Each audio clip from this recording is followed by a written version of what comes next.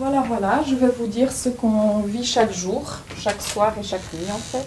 À cette heure-ci, le jardin est encore calme. Mais à partir de midi,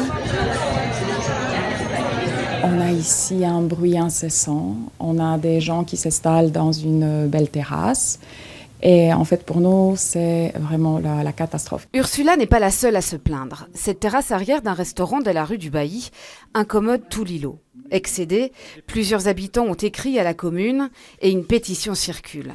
C'est qu'avec la fin du confinement, disent-ils, la situation est devenue intenable. Ça rigole, il y a le bruit des couverts, le bruit des vidanges, le bruit des rires.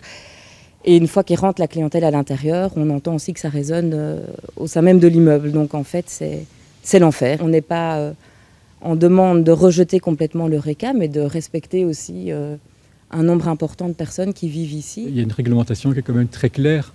Euh, les intérieurs d'îlots ne peuvent pas être transformés en espaces commerciaux.